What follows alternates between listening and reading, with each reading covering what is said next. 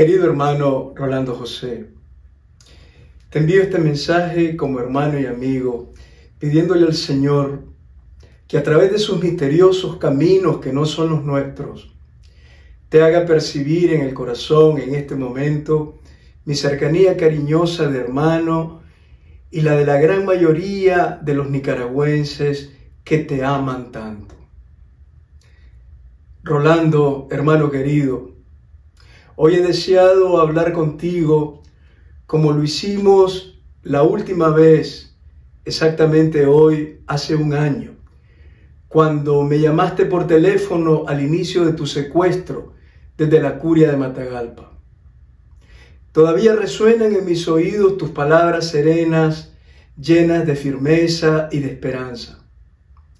En aquella ocasión te prometí que no te dejaría solo, que te apoyaría cada día y que mi voz sería tu voz. Y por eso aquí estoy junto a ti.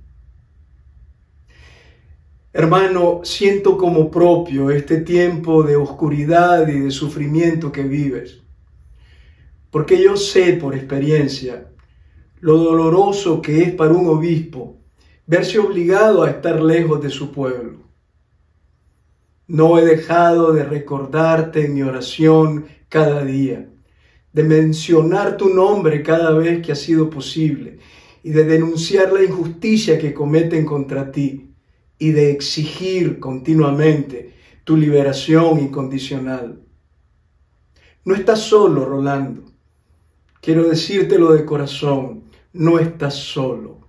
Allí donde estás, aún confinado y solitario, Allí estamos contigo todos los que te queremos. Te acompaña el amor de tu familia, que sufre angustiada tu ausencia. Te acompaña con su cariño y su oración el pueblo de Dios que se confió a tu ministerio pastoral en Matagalpa y Estelí y toda la iglesia de Nicaragua. Te acompañan las voces y el corazón de tantos nicaragüenses que te quieren y te admiran y han visto en tu persona, en tu vida y en tu ministerio una luz y una esperanza para nuestra sufrida patria. Yo también estoy contigo, hermano. A ti y a mí nos unen muchas cosas. Nos une el amor a la tierra de lagos y volcanes que nos vio nacer y a la que tanto amamos. Nos une la fe en Jesucristo liberador de la humanidad oprimida por el mal y el pecado. Nos une también un mismo ministerio apostólico al que nos ha llamado la Iglesia como sucesores de los apóstoles. Nos une el dolor que sentimos por nuestra patria secuestrada y sometida a la irresponsabilidad, la maldad y la irracionalidad de una dictadura inhumana. Rolando, a ti y a mí nos unen también tantos años de amistad, en los que hemos reído y llorado juntos, en los que tantas veces reflexionamos con seriedad y muchas otras tantas rezamos juntos llenos de fe. Fueron años en los que nos atrevimos tú y yo a soñar juntos en una Nicaragua nueva, construida en libertad, paz y justicia, y en una iglesia fiel a Jesucristo, en continua salida misionera y al lado de los pobres y de las víctimas. Tú y yo, lo que más hemos deseado es que nuestra humilde palabra de pastores, inspirada en el Evangelio de Jesús, fuera siempre una pequeña vela que iluminara tanta oscuridad y un bálsamo suave de Dios que pudiera curar y dar esperanza a nuestro pueblo herido. Rolando, hermano querido, no estás solo. Sobre todo, Dios está contigo, susurrándote al oído como a los grandes profetas. No les tengas miedo, pues yo estoy contigo para librarte. Porque tú lo sabes bien, allí donde hay un profeta impedido de anunciar la palabra, allí está Dios liberando y abriendo horizontes. Pues como dice San Pablo, la palabra de Dios no está encadenada. Contigo también comparten el aislamiento injusto y la soledad algunos sacerdotes de nuestra sufrida iglesia, que solo han querido ser fieles a Jesús, anunciando la verdad de Dios y estando al lado del pueblo más sufrido. Estoy seguro, Rolando, que en tu corazón de hombre justo y pastor bueno hay espacio para ellos y que sufres más por ellos que por ti. En su confinamiento y su dolor brillará también el consuelo y la luz del Dios que ilumina nuestras noches y nos libera de toda esclavitud. Tantas veces me he preguntado en este tiempo, ¿por qué estás allí? Quienes sedientos, insaciables de poder y cegados de soberbia y de maldad tienen sometida a nuestra Nicaragua, quieren mostrarte como responsable de delitos inexistentes que ellos mismos se han inventado. Han luchado por doblegarte, pero no han podido.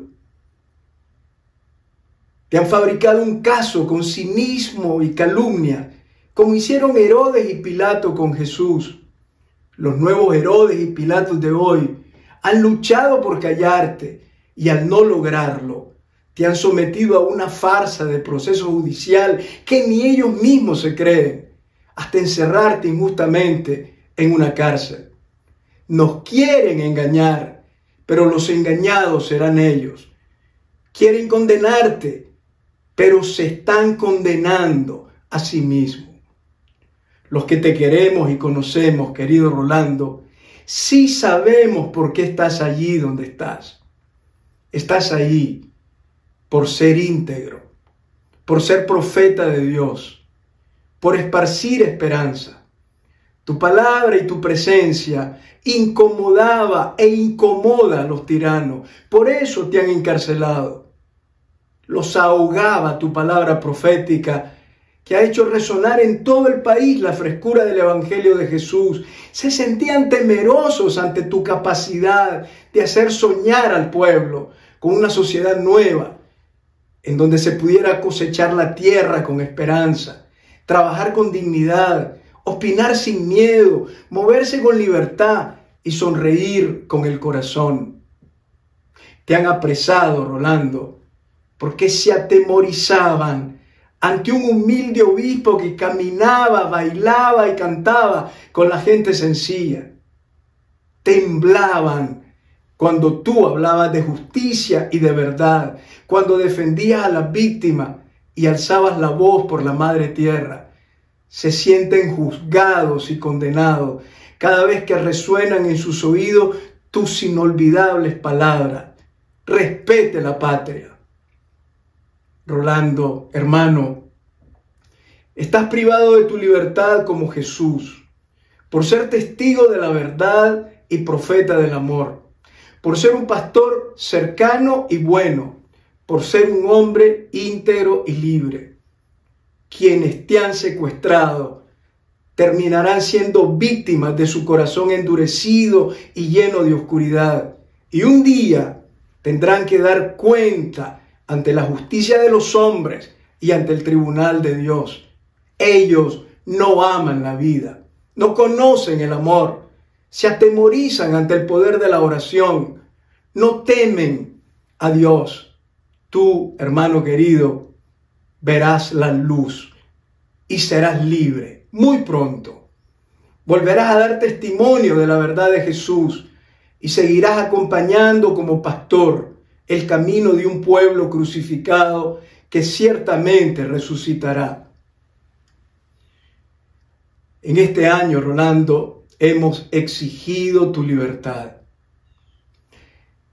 Quiero decírtelo ahora de corazón. Estamos luchando por tu libertad, denunciando y orando. Pedimos tu libertad denunciando. Los que te conocemos y te queremos, no nos hemos callado.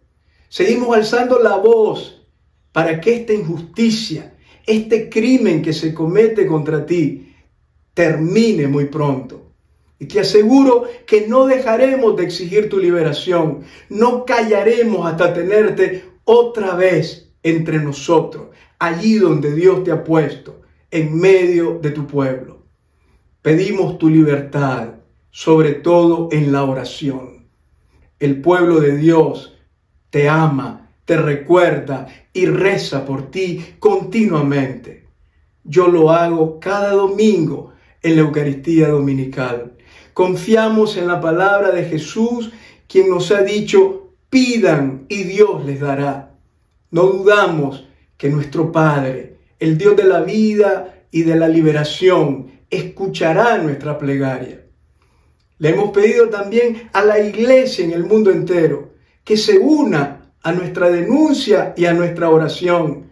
Y nos consuela saber que desde muchas diócesis y parroquias del mundo, el pueblo de Dios está orando por ti y por tu liberación. Rolando, hermano querido, Dios actuará. Quizá no en el tiempo y en la forma en que nosotros imaginamos, pero actuará, liberándote de las cadenas inicuas que te atan y renovando tu vocación de pastor al servicio de tu pueblo. Rolando, estoy contigo, hermano, allí donde estás, para acompañarte en tu soledad, para mostrarte y hacerte sentir mi cariño de hermano y amigo, para recordarte cuánto te ama Nicaragua y también para rezar contigo. Padre nuestro que estás en los cielos, venga a nosotros tu reino. Amén.